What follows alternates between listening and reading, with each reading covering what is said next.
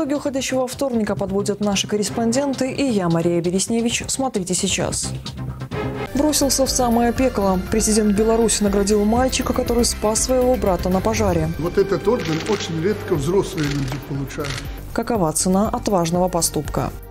Шопинг-лист. Соцработники бесплатно доставляют продукты одиноким пожилым людям. Девочки хорошие, такие сердечные работают, всегда помогут. Как воспользоваться услугой? Штормовой вторник. Не спешить, самое главное, всегда успеем. Беларусь накрыл густой туман. Чего еще ждать от небесной канцелярии в последний месяц осени?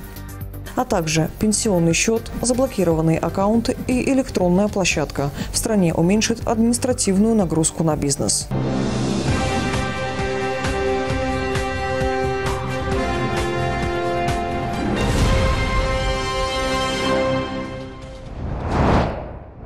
За личное мужество президент наградил мальчика, который спас своего двухлетнего брата на пожаре.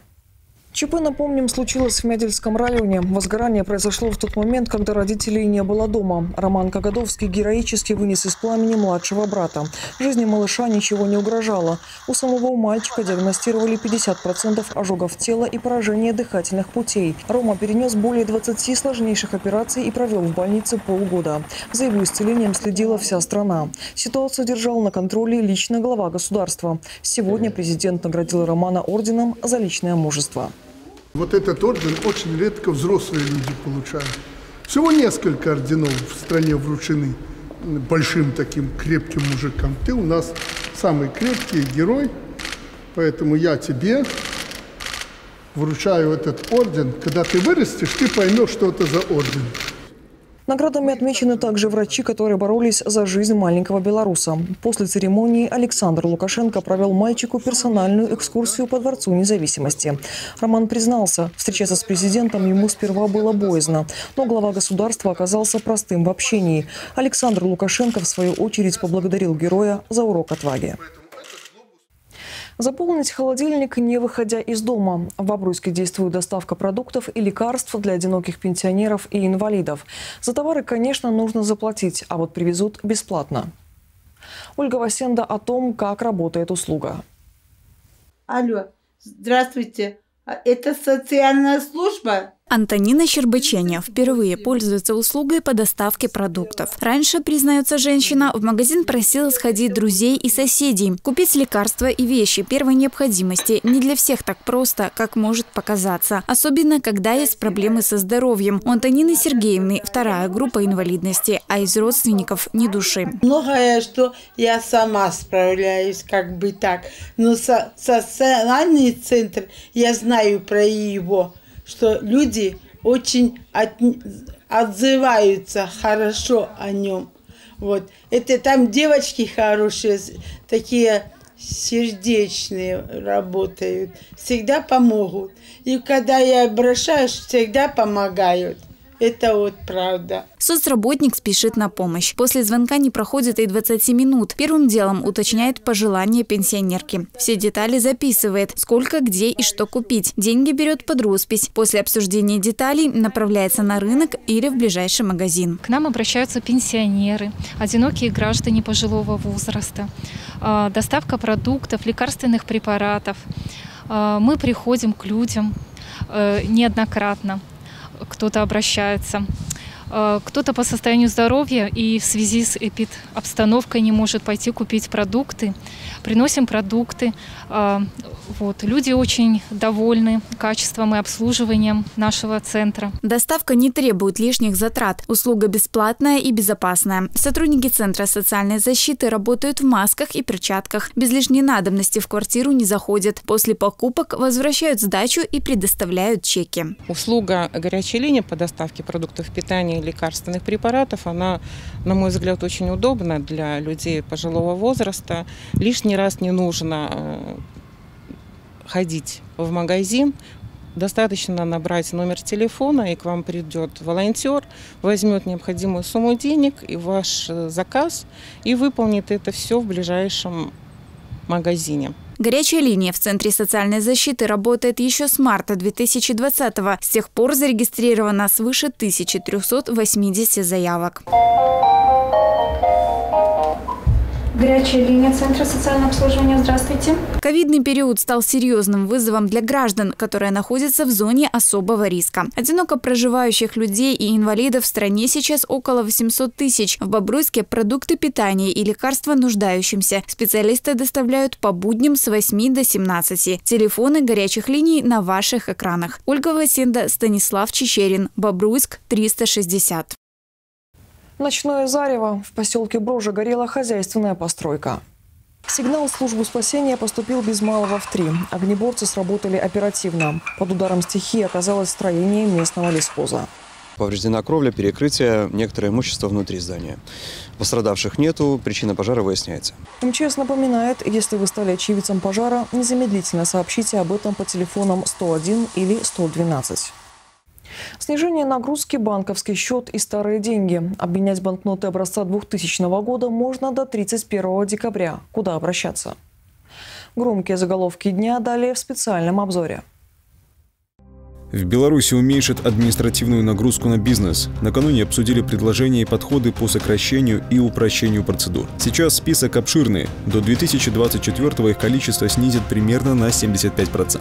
Это коснется каждой сферы экономики. Важная роль здесь отводится цифровизации. Через три года большую часть операций переведут на единую электронную площадку. Белорусы могут получать пенсии в 13 банках. К ним относятся Беларусьбанк, Паритетбанк, Белагропромбанк, Белинвестбанк. Заявление о перечислении выплат в один из них можно оформить в отделе по труду, занятости и соцзащите горы исполкомов. Подробный список на официальном сайте Национального банка. К слову, деньги начисляются на открытый гражданином счет. Доступен он и при использовании платежной карточки. Google заблокировал аккаунт и YouTube-канал Следственного комитета. Подписчиков было более 23 тысяч пользователей. Корпорация прокомментировала решение. Он отключен в соответствии с внутренними правилами в отношении ограничения экспорта и применения санкций и не может быть восстановлен. Напомним, на платформе СК размещал официальные заявления, сюжеты по громким уголовным делам, материалы по борьбе с наркотрафиком, противодействием детскому насилию и многие другие важные для общества материалы. Обменять банкноты образца 2000 года можно до 31 декабря, напоминает Нацбанк. С 2022 они будут считаться недействительными. Кассы регулятора расположены в Минске по улице Толстого 6. Работают по будням. Напомним, деноминация в Беларуси прошла 5 лет назад. Белтехосмотр в октябре выдал почти 84 тысячи разрешений на допуск к участию в дорожном движении. Это на 30% больше прошлогоднего показателя за аналогичный период. Стоит помнить, для прохождения процедуры водителю понадобится удостоверение, техпаспорт, страховка, документы об оплате. Также автомобиль должен быть чистым. Беларусь сегодня окутал туман. Атмосферное явление заставило быть на чеку как водителей, так и пешеходов. Тем временем аэропорты Москвы и вовсе были вынуждены отменить полеты. Надолго ли тренд? Карина Гуревич. Штормовое предупреждение, сильный туман. Такой прогноз ждал белорусов на сегодня. До полудня всю страну окутала серая пелена. Видимость от 100 до 500 метров. В первую очередь это опасность на дорогах. Для водителей существуют строгие правила, которые помогут избежать неприятностей. Включать свет, противотуманные фары, не включать дальний свет. Какие правила нужно соблюдать в туман? Конечно. Не спешить, самое главное, всегда успеем. Ходовые огни включаю. Ну, они сами у меня включаются просто, ну, и скорость контролирую в каких-то опасных участках. Не менее важно соблюдать дистанцию и избегать резких маневров. Во время поездки на дальние расстояния водителям стоит периодически останавливаться для отдыха и снятия напряжения. Главное – максимально обозначить свое присутствие на дороге. Причем касается это не только автомобилистов. Туман диктует правила и для пешеходов. Пересекая дорогу, следует быть осторожным. Сначала убедитесь в полной остановке автомобиля а лишь затем подходите к краю проезжей части. Погода шокирует не только белорусов. В Турции из-за сильного тумана временно закрыты проливы Босфор и Дарданеллы. Видимость ухудшилась еще с ночи, а к утру и вовсе превратила водную гладь в слепую зону. В то же время у россиян ситуация не лучше. Москва стала похожа на Сайленд-Хилл. В столичных аэропортах задержали и отменили свыше 100 рейсов. Такая ситуация там может сохраниться и до завтра. Бобруйчан в среду тоже ждут метеосюрпризы. Завтра при обладании облачной погоды, временами дожди, в ночные и утренние часы в отдельных районах слабый туман. Ветер юго-восточный, днем с переходом на юго-западный. 5-10 метров в секунду, местами, местами порывы до 14 метров в секунду. Ночью термометр остановится на отметке плюс 3. Днем воздух прогреется до 12 выше ноля. К слову, белорусов ожидает аномально теплый ноябрь. Однако возможен и мокрый снег. Но надолго, если верить синоптикам, он не задержится. Карина Гуревич, Максим Галеонка, Бобруйск, 360. Подарки со смыслом администрация Ленинского района передала именинникам из детского социального приюта праздничное угощение. Прилетит вдруг волшебник в голубом вертолете и бесплатно покажет кино. С днем рождения поздравит и, наверное, оставит мне в подарок 500 эскимо. Чувствовать детишек, которые оказались в трудной жизненной ситуации, добрая традиция. Презенты на Спартаковскую 4 по особому поводу доставляют каждые три месяца. В пакетах сладости, в ящиках фрукты. Детки готовят утренник, и это все проходит в торжественной обстановке. Учат какие-то стишки, сказки, танцы у нас. И просто один раз в месяц готовится такой праздник. Любой ребенок, любой э, э, ребеночек наш, так, он любит тепло, уважение, ему необходима доброта. Э, в первую очередь это э, доброта и тепла наших родных, близких. Сейчас в социальном приюте мечтают вернуться к маме и папе 28 ребят в возрасте от 3 до 14.